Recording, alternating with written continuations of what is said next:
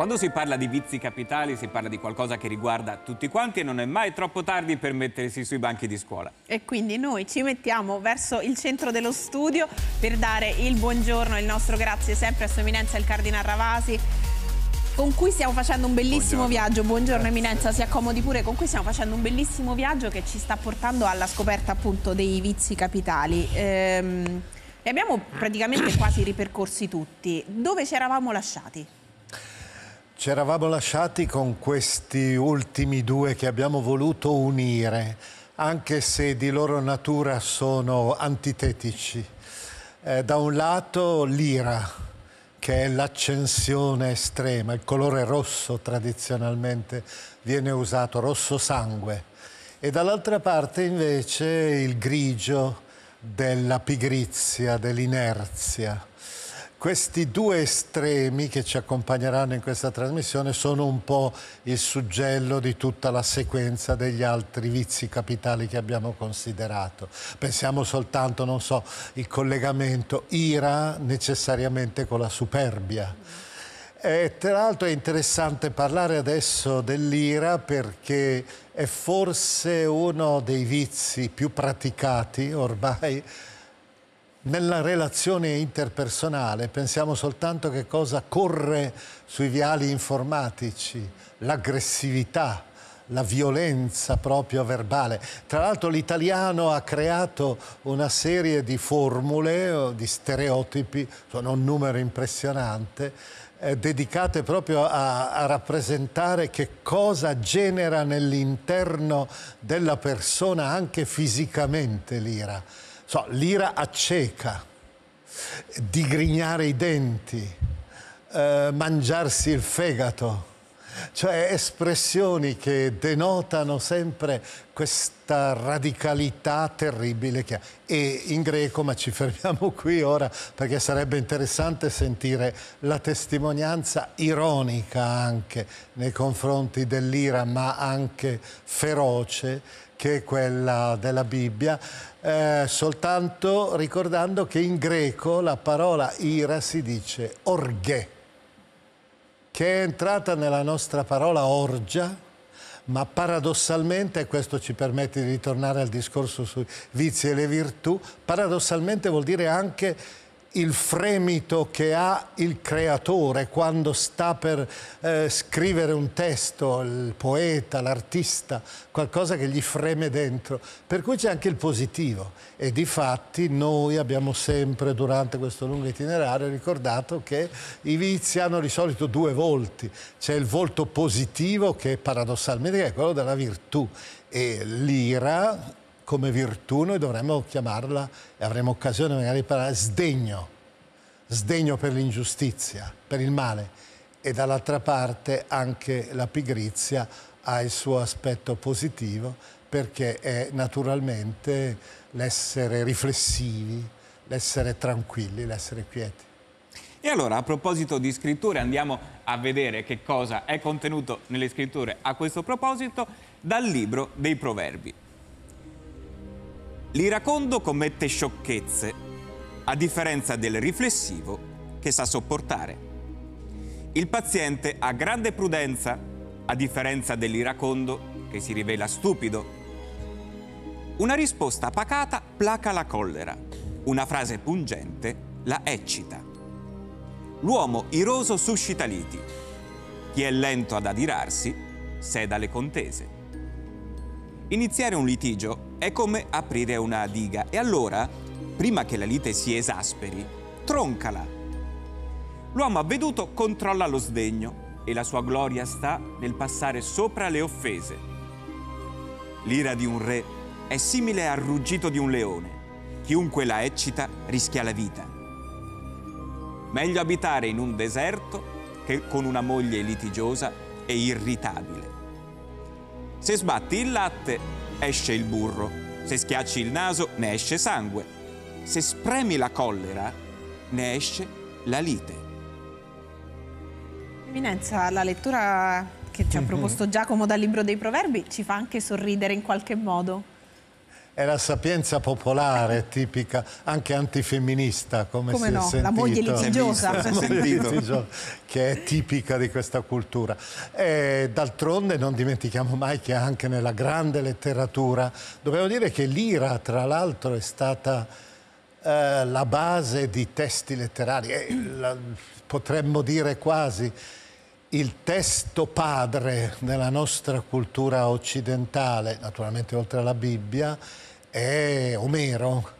E chi non ricorda l'ira funesta di Achille, che è il proprio grande incipit di quella tragedia, perché l'ira genera la, la guerra genera la lotta. E dall'altra parte anche io vorrei ricordare, oh, forse il nome tutti l'hanno in mente per la grandezza dell'opera, capolavoro in assoluto Macbeth di Shakespeare e non solo tutta la violenza che c'è in questa tragedia, tutta l'ira anche che si scatena e soprattutto l'ira che distrugge. E alla fine, che è terribile, è per stare nel femminile, nell'antifemminista, Shakespeare anche, quando Lady Macbeth ha le mani insanguinate e dice non riesco più a lavarle in nessuna maniera e tutto questo nasce dall'ira.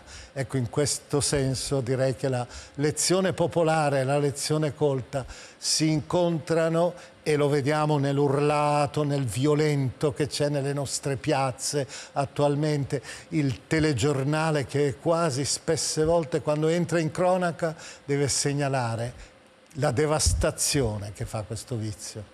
E a proposito della tragedia eh, scozzese di Shakespeareana a memoria, sembra quasi che l'ira sia qualcosa che riesce a sconvolgere tutto quanto, anche l'ordine naturale. Il bello è brutto, il brutto è bello, viene detto da, da, Shakespeare, e addirittura a un certo punto alla fine la profezia di un bosco che si muove, il bosco di Dunsinen, viene eh, a, a, ad avvenire. Come dire che quasi la natura si ribella in confronti di questa ira, che poi è un po' quell'esemplificazione che ci faceva poc'anzi rispetto al rodersi il fegato e a quella, tutta quella serie di riferimenti popolari che traducono diciamo, in linguaggio più concreto e quotidiano quello che l'ira commette. Sì, è vero. Eh, però io vorrei subito a questo punto anche un po' difendere l'ira, mostrare l'aspetto positivo, anche perché c'è un'altra espressione che tra l'altro è biblica fondamentalmente, che usiamo noi, ira di Dio, tutto unito tra l'altro, l'ira divina. San Paolo parla proprio dell'orghè divina, dell'ira divina.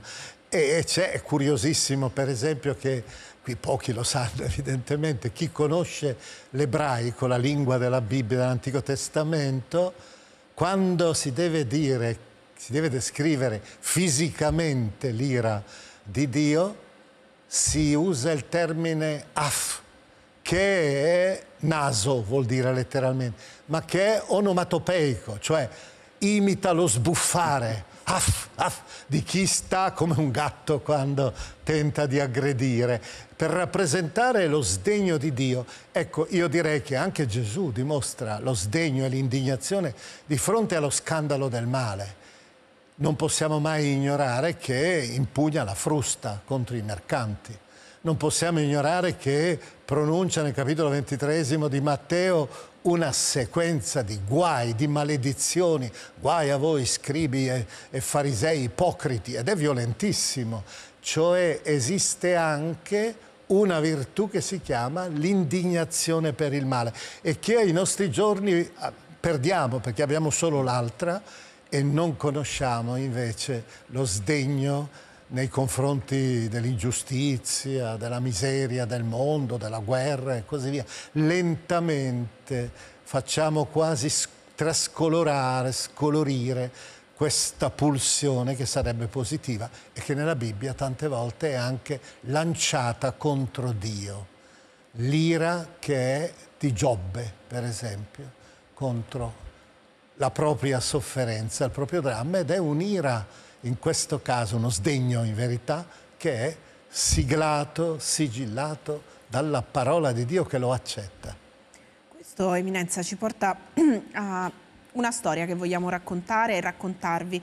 La storia che vi proponiamo è di Nicola Zattoni, un ragazzo giovanissimo che eh, scopre di avere una malattia che di lì a poco l'avrebbe portato sulla sedia a rotelle. La prima reazione probabile, umana, poteva essere l'ira, eppure invece la sua reazione è forse il contrario, è il sapersi piccolo e necessitare di aiuto e ci porta anche a collegarci al, al, prossimo ovviamente vizio che è quello della pigrizia, il non fermarsi. Vi proponiamo in ricordo la storia di Nicola Zattoni.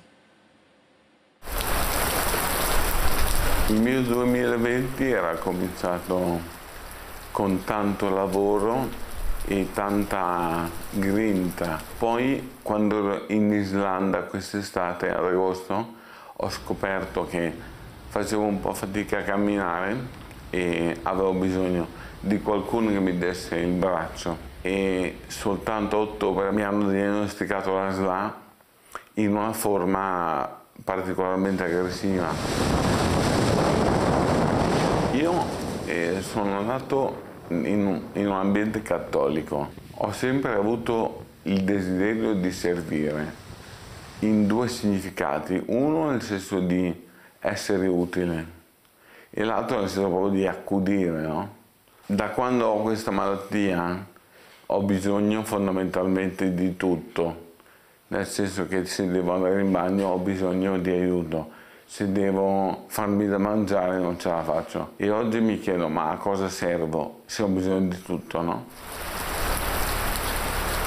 Prima io viaggiavo tutto il mondo vivevo da solo, facevo quello che volevo dalla mattina alla sera, indipendenza totale.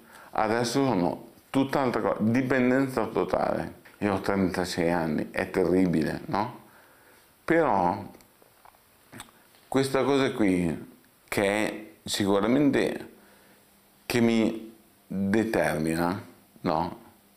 Non mi definisce. Sono su una sedia, sono che ho bisogno di tutto ma non sono definito da questo, la mia faccia non è quella di uno schiacciato dalla malattia, depresso, non vince il male, non vince la SLA.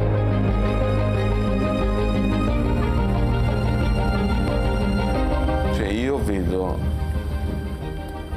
che il Signore agisce nelle pieghe della vita quotidiana ha una faccia, ha dei tratti. Tutte queste persone che, che, che mi stanno vicino, che mi stanno intorno, sono ognuna un pezzettino di quel volto lì, no?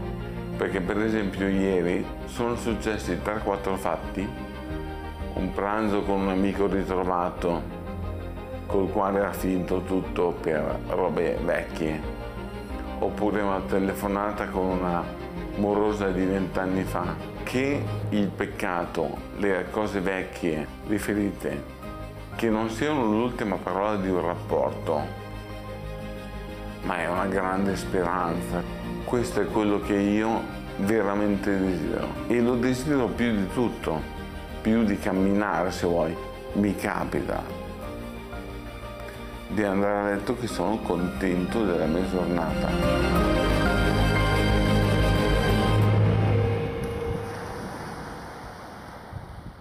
Questo è il ricordo di Nicola Zattoni e, l'orizzonte delle sue parole e l'orizzonte dei suoi occhi, rispecchiate anche nelle immagini che abbiamo visto, immagini girate proprio da lui in passato, che appunto si trattava di un videomaker, ci fanno intuire quell'orizzonte che si riesce a scorgere a volte nella vita, che va anche oltre quei limiti, quelle, quelle barriere che la vita ci pone. Beh, coraggio certamente di riuscire a ad avere dentro di sé, lui sicuramente ha avuto tutta quella reazione vi facevo cenno prima attraverso la figura di Giobbe, perché non è quando ti piomba addosso questa cosa che non ci sia anche interiormente una reazione fremente. Però dall'altra parte lo stesso Giobbe alla fine riesce a riacquistare, dopo aver incontrato Dio, riesce a riacquistare questa sorta di serenità che cancella quella sua ira contro Dio precedente. Io ti conoscevo per sentito dire, ma ora i miei occhi ti vedono e mi pento qui in cenere e polvere. Cioè lui rimane ancora nel racconto vero, o meglio, nel poema vero di Giobbe. La finale happy end che viene aggiunta è un'aggiunta posteriore, una parabola per cercare di far finire bene un racconto, ma lui è ancora lì, però dice ormai adesso io ti ho visto e questo mi fa accettare e non più ribellare nei confronti. Dall'altra parte però entra anche forse quell'aspetto positivo che dicevamo della pigrizia, quella riflessione, quel saper accogliere, quell'essere in silenzio alla fine e riuscire a intuire qualcosa di più profondo. Per questo motivo sono eh, sempre due volti da tenere presenti poco arriveremo anche alla pigrizia, Eminenza, però diciamo questo ci porta anche alle radici della fede, eh, nel senso che eh, ognuno di noi in qualche modo si affida alla volontà di Dio. Ci si potrebbe affidare con fatalismo, ci si potrebbe affidare con quella pigrizia di dire io sto qua, che la volontà sia fatta, non mi attivo. E invece il vizio che vedremo tra poco, ovvero la pigrizia e il suo contrappeso, invece ci porta a quel attivarsi, attivarsi come per l'ira perché la giustizia sia fatta, nella pigrizia perché ognuno di noi possa seguire una strada e tingerla di colori, non quel grigio di cui ci parlava prima. Beh sì, c'è un termine italiano che rappresenta bene la degradazione della fede che si abbandona in maniera indifferenziata, senza avere quel fremito necessario, che è umano anche quando sei colpito. Ed è la parola fatalismo che è attribuita normalmente alla tradizione musulmana, anche se in verità non lo è in maniera esclusiva, però è fuori di dubbio che lo stesso Giobbe in apertura nel racconto iniziale che è un racconto anteriore che viene usato come cornice, dice Dio ha dato, Dio ha tolto, sia benedetto il nome del Signore, che può essere anche una grande testimonianza di fede, ma può essere anche, e lui lo smentirà dopo per eh, tutti i capitoli veementi di protesta, può essere anche una forma appunto di fatalismo. E allora a proposito della pigrizia, vediamo le suggestioni che ancora una volta ci arrivano dalle scritture e in particolar modo sempre dal libro dei proverbi. Va dalla formica, o pigro, esamina le sue abitudini e diventa saggio. Essa, pur non avendo un capo, un sorvegliante o un padrone, si provvede lo stesso il vitto d'estate, accumulando cibo al tempo della mietitura Fino a quando, o pigro, te ne starai a dormire? Quando ti scuoterai dal sonno? La mano pigra fa impoverire, la mano attiva arricchisce. Chi raccoglie d'estate è previdente, mentre chi dorme al tempo della mietitura si disonora. Come aceto ai denti e fumo agli occhi, così è il pigro per chi gli affida un incarico. Il pigro dice, Fuori c'è un leone. Se esco, sarei ucciso per strada. La porta gira sui cardini, così il pigro si volta nel suo letto. Sono passato vicino al campo di un pigro, alla vigna di un indolente, ed ecco, dappertutto erano cresciute le erbacce. Il terreno era coperto di rovi e il muretto di pietre era tutto sbrecciato. Osservando riflettevo. Pensandoci, mi è venuta questa lezione un po' dormire, un po' sonnecchiare, un po' incrociare le braccia per riposare e intanto s'avanza passeggiando la miseria e l'indigenza come un accattone. Grazie Giacomo.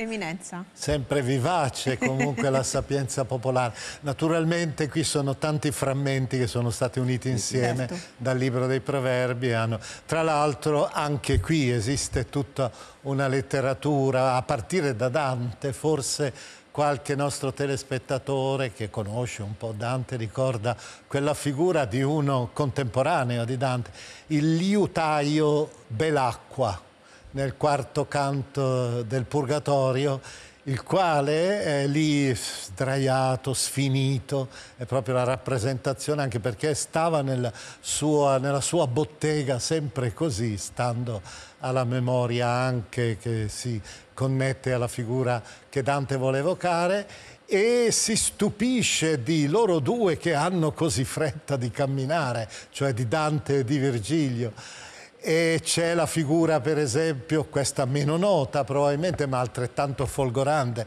di un romanzo credo sia del 1850-53 eh, di russo, di un russo, Goncharov, Oblomov, che ha dato anche origine a una forma italiana rara dell'oblomovismo che è questo personaggio, un protagonista buono tutto sommato, ma del tutto inerte, che vede sfuggire dalle sue mani quasi come sabbia, perdere la, i suoi beni, perdere anche la fidanzata e alla fine si riduce così, solo, isolato, triste, ma senza però contento di essere immerso nel suo vuoto. Ecco, nei nostri giorni è forse la rappresentazione più terribile, forse quella del drogato, che si accascia, non ha più nessun interesse, purtroppo questo è il simbolo anche dell'indifferenza, della superficialità, dell'inconsistenza. Eppure, Eminenza, se pensiamo alla pigrizia, per come la intendiamo quest'oggi, Altri vizi capitali ci risultano magari eh, così più evidenti come vizi in sé per sé. La pigrizia, tutto sommato, uno potrebbe trovare degli alibi a se stesso, dire vabbè, essere un po' pigri, tutto sommato, non sarà poi chissà che cosa. E invece è, è annoverato proprio fra i sette vizi, capitali. capitali. Beh, forse per questo vale quello che San Paolo scrive nella seconda lettera ai cristiani di Tessalonica. Questi cristiani erano stati avvolti, come spesso avvolti, coinvolti e travolti poi alla fine, come accade in, certi, in certe sette, in certi gruppi fanatici, dalla, uh, dalla tensione apocalittica. Attendevano la fine del mondo imminente, si ricorda che qualche gruppo religioso dava anche la data precisa. E allora che cosa avevano fatto? Se erano, ormai sta per arrivare Cristo, è inutile che noi continuiamo a lavorare, a impegnarci nella famiglia e si erano quasi accasciati. Ecco, in questa luce Paolo diventa feroce, entra quasi con una, con una spada e formula quella definizione dopo aver criticato ciascuno di voi deve lavorare, dice, porta il suo esempio, ha lavorato, noi sappiamo che a Corinto fabbricava persino, lavorava tessuti, probabilmente tende, tende militari Ebbene, lui stesso porta come esempio di non essere mai stato di peso alle comunità e formula quella frase e per questo fa capire quando può essere pericoloso. Chi non lavora neppure mangi. Che è diventato, tra l'altro questa frase, senza citare che fosse Paolina, è entrata nella Costituzione dell'Unione Sovietica, messa da Lenin.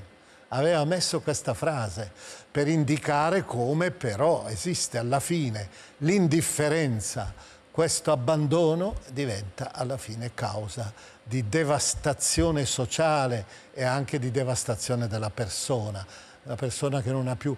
Nell'interno della tradizione, e qui concludiamo questo capitolo particolare della pigrizia, nell'interno della tradizione spirituale esiste un vizio che si chiama achedia in greco, che è diventata la nostra accidia ed era la tentazione del monaco che nel pomeriggio, sotto un sole incandescente, nell'interno della sua tenda, è lì e si lascia lentamente trascinare quasi verso una morte spirituale come diciamo, non prendere la propria vita in mano e non farne un capolavoro, diciamo, come diceva qualcuno. Ce ne andiamo in pubblicità. Dopo la pubblicità aggiungiamo qualcuno alla nostra chiacchierata anche per capire come, abbiamo già accennato, l'ira è presente nelle nostre vite quotidiane e in, soprattutto nei nostri telegiornali. Capiremo anche come la pigrizia fa parte purtroppo della società moderna. Dopo la pubblicità.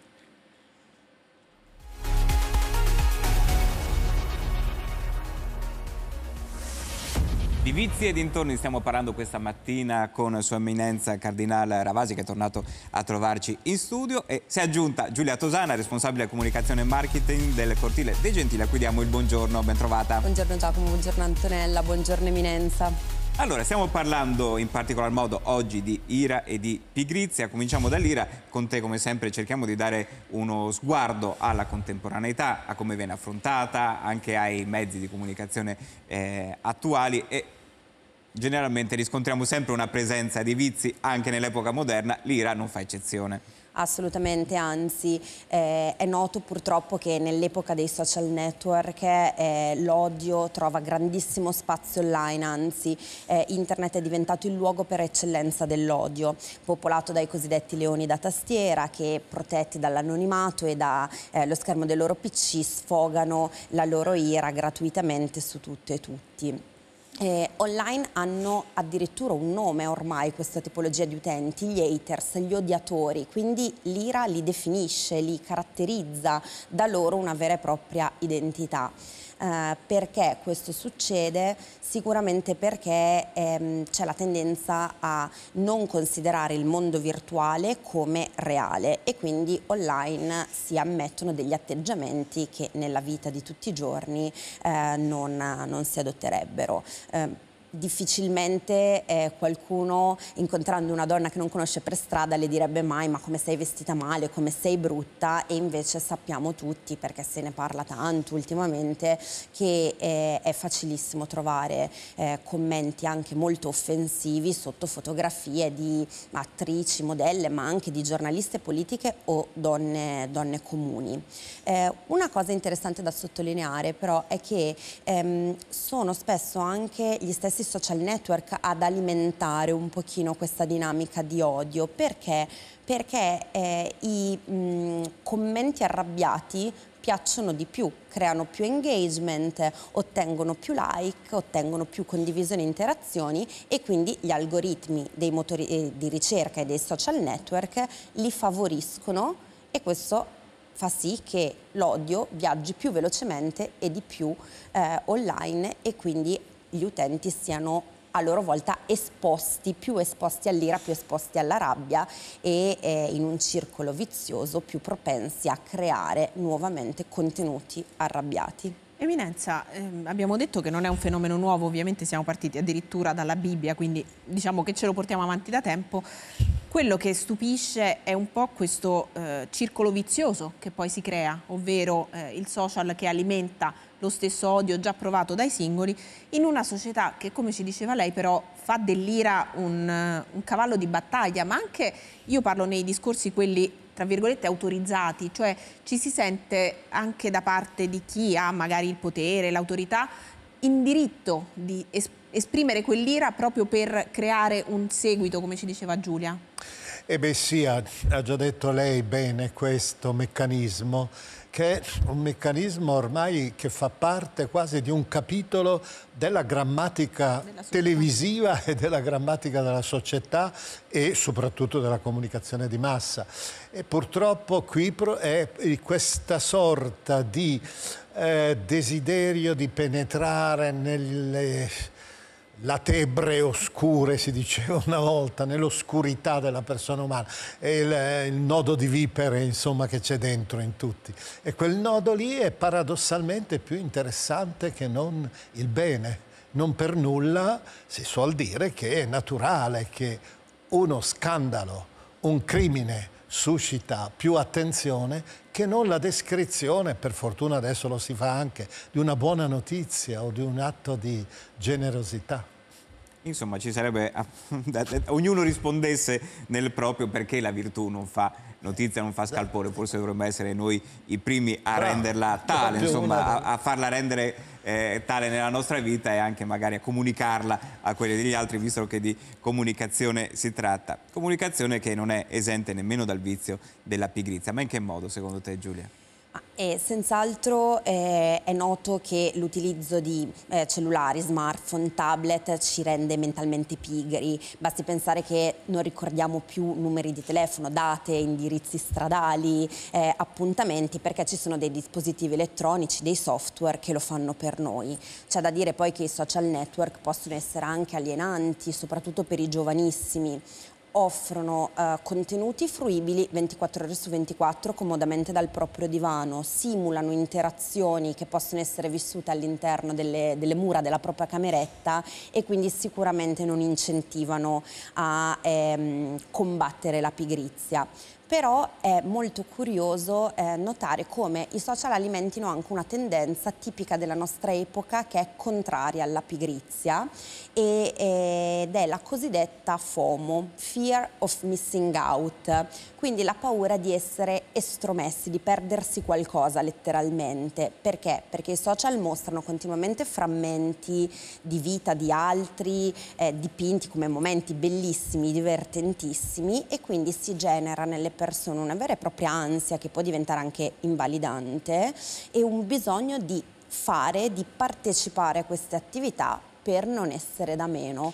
Quindi ecco, forse nel caso della pigrizia eh, è sbagliato dire che i social network la alimentino e basta, alimentano comunque una dinamica non positiva ma anche opposta alla pigrizia. Eminenza, questo ci porta anche un po', riflettevo mentre Giulia parlava, al cortile dei gentili. Di fatto è una realtà in cui si innesca il dialogo proprio per uscire da quel, da, da quel cardine di ira, pigrizia o comunque dei vizi che abbiamo trattato in questo periodo, proprio perché eh, andare al di là della credenza del singolo, quello che diceva Giacomo, magari farsi anche delle domande personali sul perché ci interessa di più il vizio della virtù. Eh, al Cortile dei Gentili, per esempio, è un posto dove tutti, credenti e non, possono mettersi a innescare quello che diceva Giulia, magari una pigrizia positiva, un'ira positiva, ci diceva lei, appunto quel senso di eh, volere la giustizia invece che l'ingiustizia. Eh, sì, due note soltanto conclusive a questo punto in un discorso abbastanza complesso come questo. La prima è indubbiamente quella che si riferisce al cortile dei gentili, la possibilità cioè di scoprire che con opzioni religiose, ideologiche antitetiche è possibile convergere sulle dimensioni etiche di base su ira e su pigrizia, ma su tutti gli altri vizi. Quindi credo che questo sia veramente uno stimolo. Dovremmo proporre più spesso queste riflessioni di morale generale. Seconda riflessione invece su quanto diceva Giacomo, che mi sembra eh, fondamentale, che anche lei ha evocato, e cioè che la virtù è meno attraente del vizio anche perché alla base un grande peccato che è il moralismo, la predicazione noiosa della virtù. Per questo che sarebbe l'ideale adesso ricominciare da parte nostra a far vedere quanto è affascinante anche parlare per esempio della speranza o parlare della giustizia o parlare della temperanza anche. E in questo, Giulia, noi abbiamo parlato dei social, abbiamo lì un tablet che monitora sempre l'attività, tra l'altro presenta anche il, i riferimenti del cortile dei gentili, ma non sono quelli il problema in sé per sé. Diciamo, forse siamo noi che dovremmo avere un po' quella bussola eh, interiore per poter eh, gestire il tutto e non essere dominati da quelle correnti eh, di ira eh, che vengono portate o quelle correnti a cui veniamo lasciati noi individualmente? Assolutamente sì, è chiaro che la soluzione non è demonizzare la rete o smettere di usare gli strumenti che abbiamo a disposizione con cui si può fare anche eh, del bene, ma è promuovere comunque un'educazione all'uso dei mezzi consapevole e anzi utilizzare queste risorse proprio per creare quelle occasioni di incontro e confronto reale eh, in modo tale appunto da da promuovere tanti cortili dei gentili virtuali e, e utilizzare al meglio lo spazio che, che abbiamo. Noi vi ringraziamo. Eminenza, mi sembra di aver capito che ci siamo dati un appuntamento per le virtù. Noi lo speriamo perché è stato un bellissimo viaggio questo all'interno dei vizi che abbiamo fatto insieme a lei, ovviamente su Eminenza il Cardinale Ravasi e anche a Giulia che ci ha portato un po' ecco, lo sguardo Guarda. dei giovani, delle nuove generazioni e anche di quei social che demonizziamo tanto ma che talvolta ci possono anche essere utili. Grazie a Giulia grazie. Tosana, grazie, grazie. a Sua Eminenza il Cardinale Ravasi. Rimanete pure Rimanete. comodi. Noi ci salutiamo col pubblico pubblico e poi salutiamo tutti quanti voi. E ci salutiamo fino a domani naturalmente perché noi domani mattina alle 7.30 ritorniamo qui, riapre di buon mattino, avremo anche l'occasione di parlare di una figura rimasta nel cuore di tantissimi che è quella di Don Milani. Adesso apriamo le porte del mio medico, la medicina, la salute entrano qui a TV2000 e lo fanno con Monica e Fabiola. A voi.